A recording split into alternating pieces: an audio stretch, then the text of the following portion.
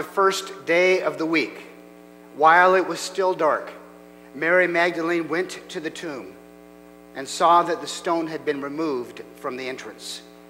So she came running to Simon Peter and the other disciple, the one Jesus loved, and said, They have taken the Lord out of the tomb, and we don't know where they have put him. So Peter and the other disciple started for the tomb. Both were running, but the other disciple outran Peter and reached the tomb first. He bent over and looked in at the strips of linen lying there, but did not go in. Then Simon Peter came along behind him and went straight into the tomb.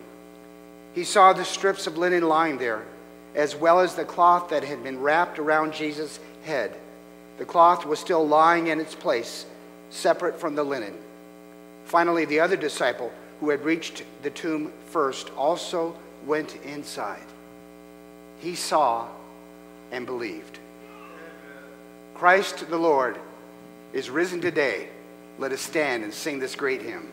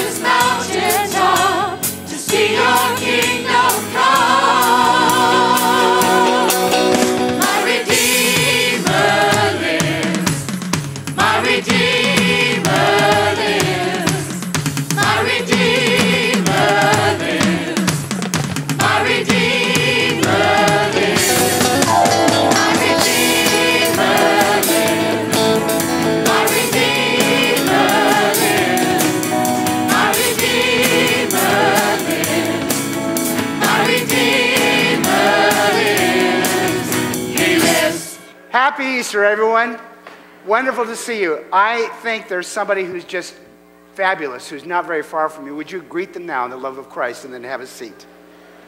If you are regular with us, we welcome you. If you are new to us, we have a we welcome you as well. And to both groups, we say we have our new newsletter out. You can know things that are happening here in our church. It's available online at our website. It's also available right out here in the narthex. I want to let you also know that um, Saturday I received a call in the afternoon that uh, Don Boyd was taken to Medford and he is having a quadruple bypass there. I don't know all the details. I don't know if it's happened yet, etc. But um, I thought we could certainly lift him up in prayer, don't you think? So let us pray. Lord, we thank you for the, the joy of knowing a person like Don, the gift that he is to us, and the ways in which he has cared for this church and this basin. And God, we pray that right now you would be with he and Cheryl as they face this challenge, and that they would know deeply in their heart that they are not facing it alone that we stand with them, and more importantly, you are with them, that your arms enfold them.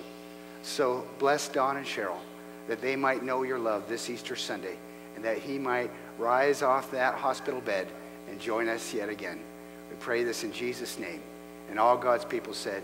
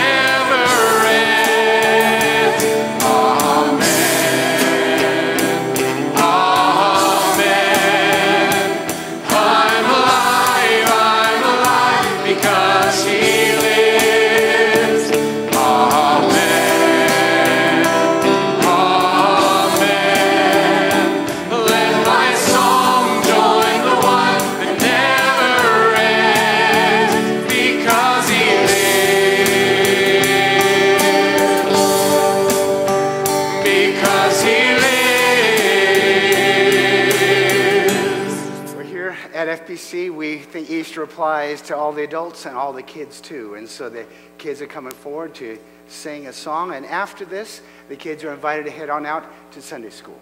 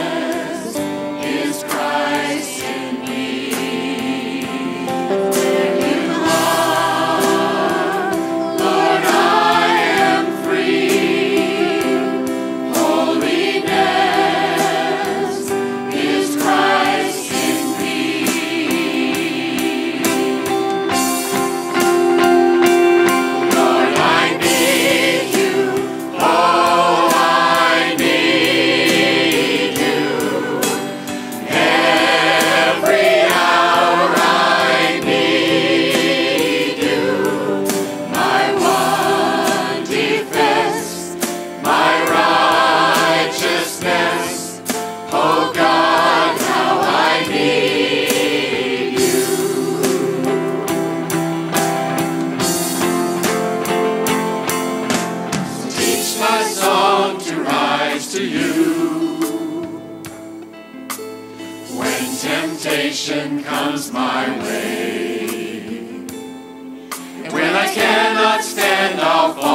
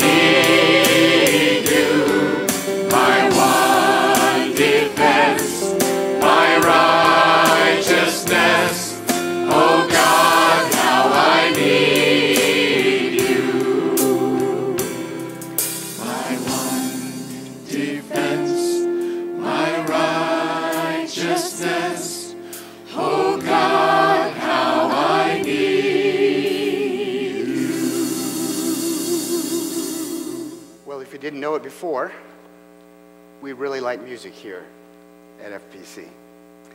We also like to hear the Easter story not as something that happened long ago, but as something that is happening right now. And uh, coming up now are uh, the wonderful Mangus couple. Dustin is here, and Emily is gone. Oh, there she is. There she is. She emerged. Tough at that first service. She just ditched you. anyway, this is Dustin and Emily Mangus, and uh, they have been kind enough to say they'd be glad to share their story with us. And uh, there's a little trade at the end that we're going to do for them. So, uh, first of all, Dustin, almost all of us wrote an essay sometime in grade school what I did for my summer vacation. What did you do from the age of one until the age of 17, just about every summer of your life? Well, every summer I was born with a, uh, it, it's a hip issue. I was born, we're very premature, so I have about a third of a hip on my left side that actually developed. And so I was put into Shriners, and every summer um, was a, uh, as soon as I got out of school for the first about month of summer, I was in surgeries, and uh, there was always something that they wanted to do again or try again, or, or there was always something that they wanted to do. So that's where that was what I got to look forward to in, in the start of my summers and watch my brother outside Playing and running around, yeah. Um, and you said that there was an aspect to that that really impacted you, not just physically, but kind of personally, emotionally, uh, when you went every year. Tell us about that. It really affected my uh, uh, my trust. It was uh, as a child, you're dealing with adults and you're dealing with doctors, and and uh, it really affected my trust not only with adults but with Christ. Is if you can't get me out of this, you said that you would, you're all healing and all powerful, and so you know what, I kind of went on my own and started making my own decisions about how I wanted to perceive things, and uh, and it, that, that was a big impact on my life as far as going into adulthood. And, and reality is that you uh, were in pain all through childhood and, and continue to be in pain with this hip. Is that correct? Oh yeah. And, Daily. and so uh, I guess a while ago, you, when the Shriners sort of said, we're not with you anymore, and there you were, you had the opportunity to meet this wonderful, lovely lady here and married her. Very smart move on your part, I might say. It was. Emily, I don't know. No, I'm kidding. It's great. Um, but you had to cope with that pain in a lot of ways, and you found some less than helpful ways to cope with it. I did. I uh, was trying to figure it out on my own. I turned from Christ, and I decided the, that uh, to believe a lie in alcohol. I thought, you know what, this is going to take care of my problems. It's going to heal my. It's going to take care of that inner pain and the exterior pain, and, and so I dealt with that for 15 years. I, and and I and it, it got really dark. It got really, really dark. Life, our marriage uh, was crumbling. My family was crumbling. Me personally, I, I thought I had everything figured out, and it was all coming down around me. So And it was about a year ago, I think, when we talked that you, um, things were in a rough spot. Yeah. Christ came back. that was, that was dark. and that was a really dark period in my life, and and it really took me back down to my knees and uh, understand. And and I I had always known Christ. I was raised in church, and I've always known Christ. And now I'm 38 years old, just getting to know Christ and know what He does and know, understand His power that He could deliver. And I depended on alcohol, and and uh, it was a really dark time. He sh- he he showed me what a beautiful blessing she is and what marriage is intended to be and how beautiful it's designed and uh, God, and how to be a father and raise a family and do all the things that I that I was trying to avoid that I was trying to cut out you know so, It takes some guts to say all that. Um, could you give him a little applause? Sorry. it's all Christ Yeah. Um, I said last service that sometimes we men say we're different, but it's really our wives who can say for sure. So, Emily, have you seen any changes in this guy? Extreme changes. It's amazing what we've been through. We've been through some really dark, down things and done things to each other and said things and turned away from each other and God and seeing God's grace and what He's done for us and our marriage and with our kids and just everything with this church. How great. How great. Yeah, it's amazing. Now, I told you that we were going to give them something back. What happens this next Wednesday, Dustin? This next Wednesday is the moment I've been waiting for a long time. I've always been told growing up that there's nothing we can do, nothing we can do, or they tried stuff, and then um, what I need is a hip replacement. And I've always been told you're too young, you're too young, and then the politics get involved, the monies and insurance and that kind of thing. And so this Wednesday, we've, uh, my wife actually um, encouraged me to step through that door again, which I've been let down so many times. But she like, let's give it another shot. Let's go talk to a doctor. And this Wednesday, I have a, uh, an appointment with one of the best surgeons for that um, in the area. So I'm really blessed to finally get another opportunity, a real opportunity. And this the kind of stuff has happened since I decided to turn back to God and give Him control. And, you know, quit trying to control everything myself. And so it's just, it's an amazing, it's an amazing thing. So this spring, it's quite possible you'll have a surgery for a hip replacement. Oh, quite possibly. Yeah. So the deal was we're supposed to pray for him. Would you mind doing that? Let's do so. God, thank you for this great couple. Thank you for the journey that they have been on and the gift they are to all of us. And we pray right now that Dustin uh, has this surgery in such a way that it is a complete blessing. And his hip is healed and he's able to run and just have a great experience and the pain goes away. And we thank you for his testimony to you and your faithfulness. Be with these two.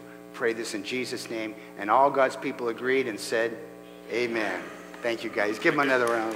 Thank you both. So, no need for a sermon. That's it, don't you think? That was just fantastic. But you're going to get one anyway, so don't get nervous. Uh, by the way, quite a week for me. Uh, on Thursday, our daughter goes into the, um, into the hospital to have her first child, and, and we don't hear anything for a couple of hours and wonder and worry and wait all day. And this, the little one came out. So this little one is Luke Stuart Landerholm. Those are the parents. I said, this looks a little bit like he was listening to one of my sermons, don't you think? But we're so excited. We're going to go see him in uh, next week after this. So we're very, very excited. Uh, our text today comes from the story of Lazarus, and we are looking at John chapter 11. And I'll read to you verses 21 through 27. Lord, Martha said to Jesus, if you had been here, my, bro- my brother would not have died. But I know that even now, God will give you whatever you ask. Jesus said to her, Your brother will rise again. Martha answered, I know he will rise again in the resurrection at the last day. Jesus said to her, I am the resurrection and the life. The one who believes in me will live even though they die, and whoever lives by believing in me will never die. Do you believe this? Yes, Lord, she replied. I believe that you are the Messiah, the Son of God, who is to come into the world. Pray with me. God, as we explore this story, I pray that not only would you reveal yourself, but you would also reveal to us our own selves, our own heart, our own ways in which we can turn to you. For we pray it in Jesus' name. Amen. We don't really know much of anything about Lazarus. But we know one thing about Lazarus that is unique to him in all the New Testament, as far as I know, and that is this he was a friend to Jesus. He was also, Jesus was also friends with his sisters, Martha and Mary. And we tend not to think of Jesus as having friends. Disciples, of course, followers, crowds, people who ask him questions, but not friends. They were like family to him. In fact, that home is the only place I can think of in the New Testament where Jesus goes where it doesn't seem to be set up as a teaching piece. On every other occasion, there's a, there's a formal setting and it might be a confrontation or might be a lesson, etc. Now, as you recall, he did have a lesson for the two sisters in, an other, in, in another text. You might remember the famous Martha Mary controversy.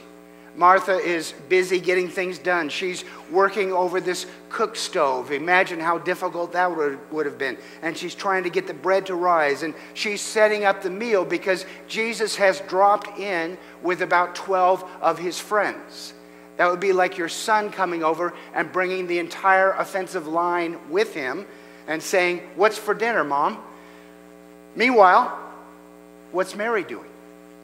Mary is sitting at the feet of the Master. She's listening to and hanging on his every word. The contrast between Mary and Martha is obvious. Martha, the practical person, Mary, the idealist.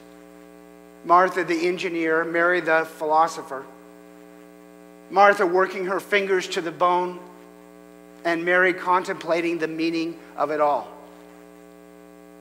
And as we know, as we relate to it so well, if we are of the Martha side of the equation, Martha just blows her cork. She comes in through the passageway where Jesus is teaching, their front room, I presume. She goes in there and she looks at all those people sitting there. She zeroes in on Mary and she says, Lord, don't you care that my sister has left me to do the work by myself? Tell her to help me.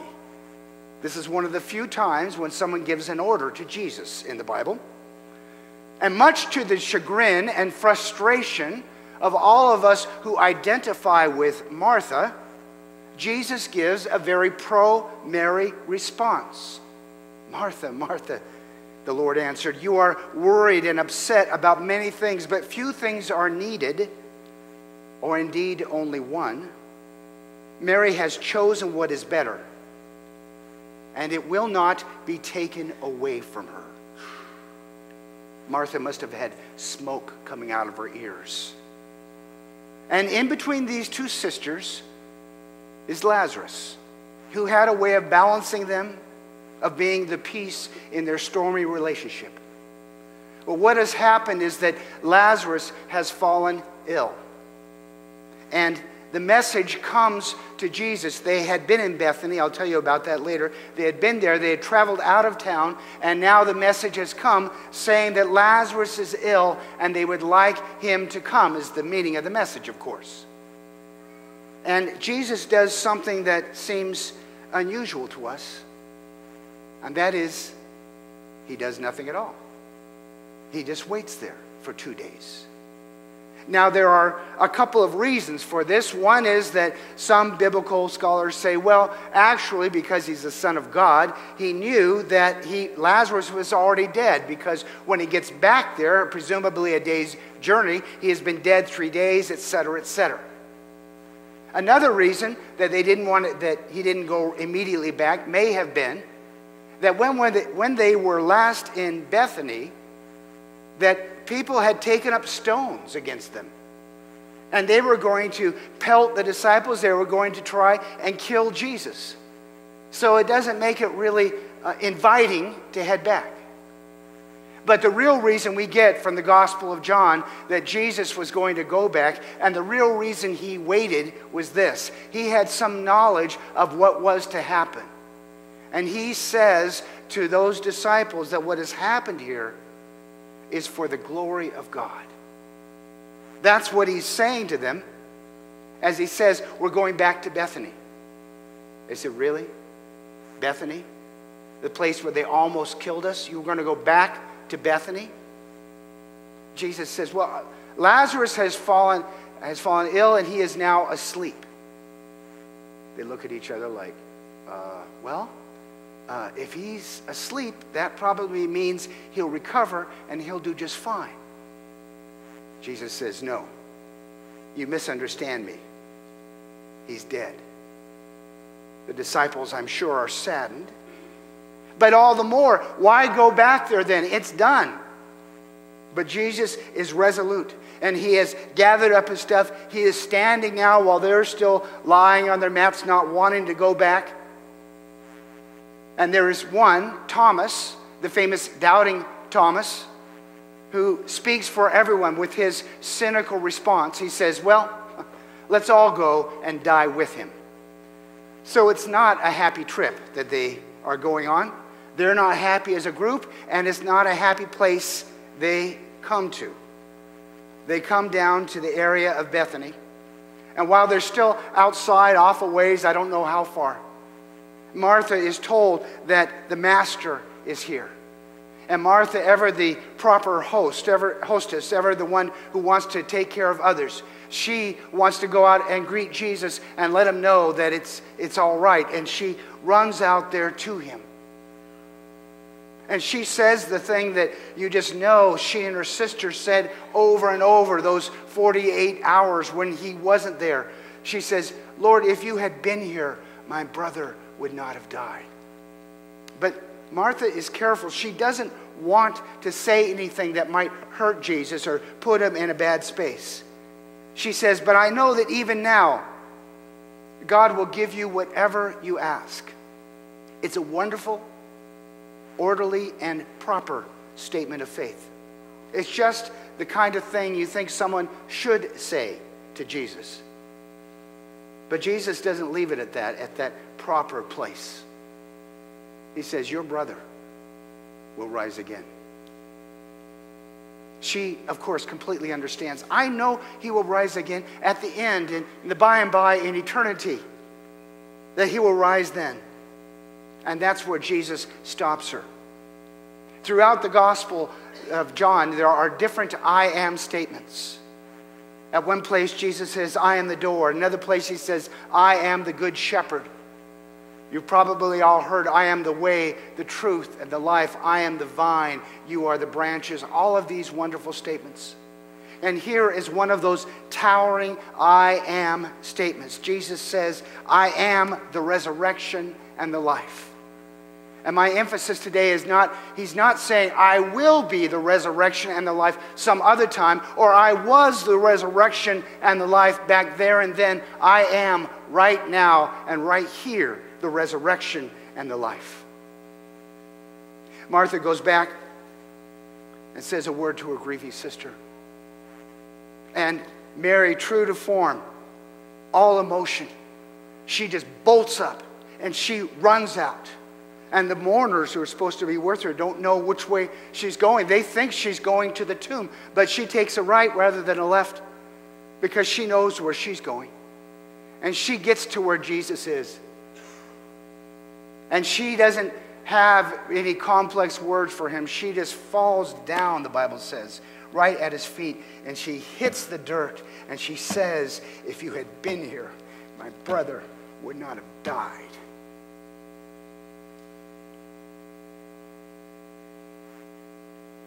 Once again, we see ourselves somewhere along the Martha American spectrum. Some of us are more like Martha. We understand bad things happen and we just want to help the Lord along. We don't want scenes, we don't want confrontations. And some of us are more like Mary. We shake our fist at the sky. We say, How could you let this happen? I remember as a new Christian, I was reading, I think it was Newsweek magazine, and there was a story of one of those horrible African genocides, thousands of people killed. And as I read it and read it more and more and saw how deep and disturbing all of this was, I just had to go out to my backyard and to kind of cry out to God and say, Lord, why would you let this happen? Jesus receives both Martha and Mary. He receives them then, and he receives them now.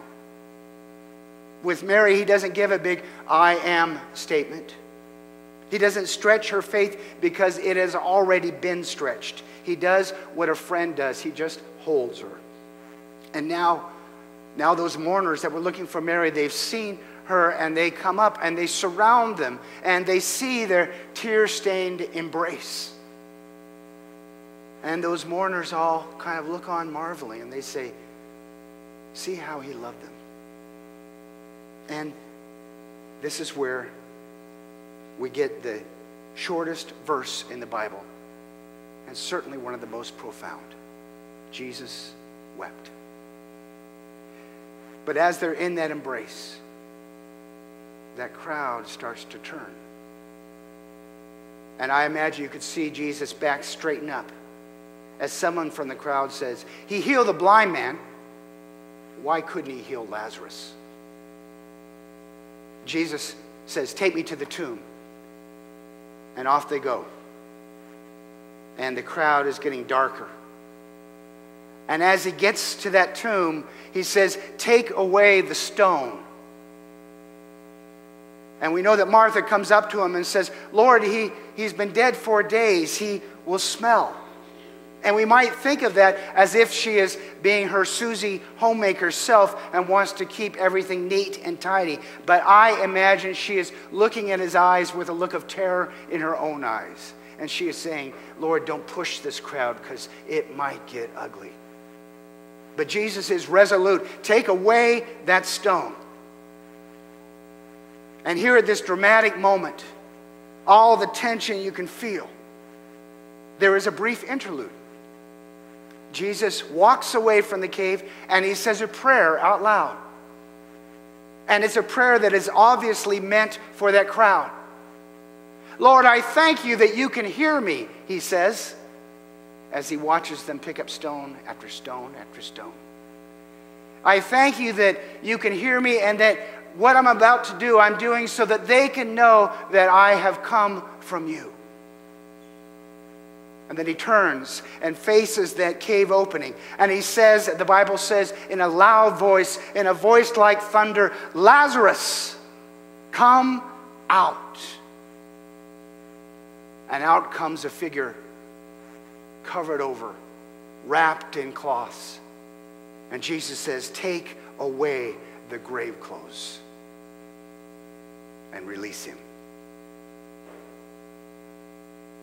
Well, I'm sure that there is nothing those people had ever seen in their life that equals that moment. It would be the most incredible thing you could ever see.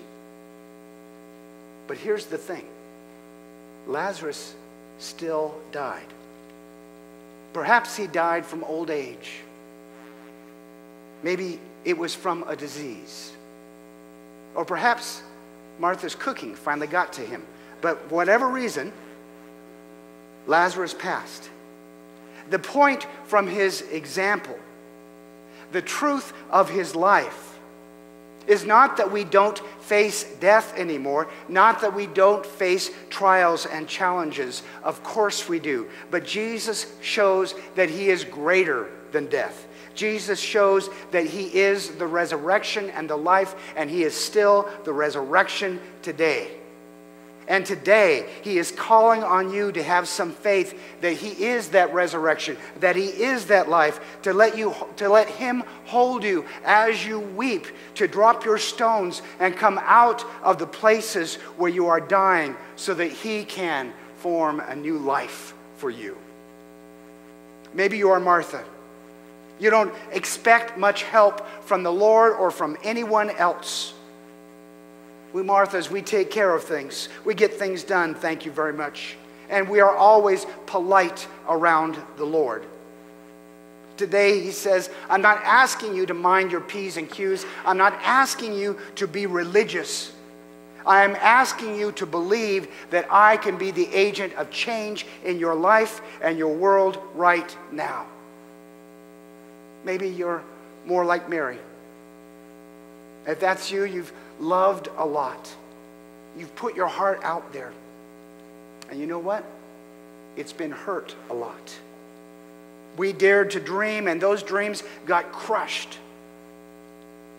Maybe you're reduced right now to bitterness. Why, Lord? Where were you? If you had been here at that terrible time in my life, this thing wouldn't have happened.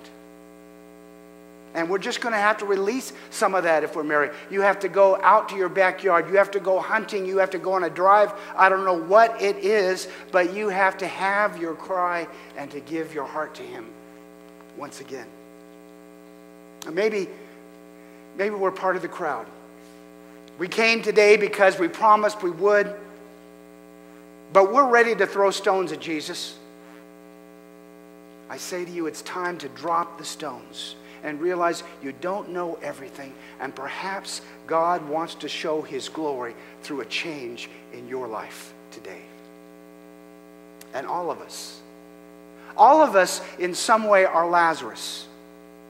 There are places in our life where we have died. Because we've seen the hardness of life, we don't know the joy of the Lord, we think because we've lost so much, we don't expect the Lord to offer us anything new. Because we've been bound by our habits and patterns, we can't imagine the Lord inviting us to anything new. This Easter, today, He claims to be the resurrection and the life for you. And He says to each of us, I am rolling the stone away I'm standing at the mouth of the cave and I'm calling out your name Lazarus, JT, Dustin, Emily, Dar, Leonard, come out. I'm calling you to the freedom of new life. Take off those grave clothes and be released. If you would like Christ to be the resurrection and the life for you, there is really only one way to do it and that is you have to come out of your tomb. Come out of the things that hold you back. Come out of habits that bind you to how it was instead of how it could be. Come out of your old ways of seeing the Lord from this polite distance and let Him become for you the resurrection and the life. It begins with a little prayer Lord, this life is yours. I thought it was all mine. Forgive me, guide me, and let me walk in you. And it continue, continues with a new pattern. You let the scriptures speak into your life. You let somebody lead you further and further in faith. You show up here next week and the week after that. Simply allow the Lord to embrace you once again. Easter is our great day. But it is not just 2,000 years ago. It is today. It is right now. He is still the resurrection and the life. Would you pray with me? And so, Lord, for any man or woman who would like that resurgence in faith and life, or who would like a new start, I pray that you would be with them now that you would remind them that you are the resurrection and the life. And that you would heal that which is broken, that hip that is out of joint, that heart that is not quite right, that life that aches. And Lord, as we also now give to you of our resources. We pray that these resources are used so that others might know your love and might know your, the resurrection and the life. Amen.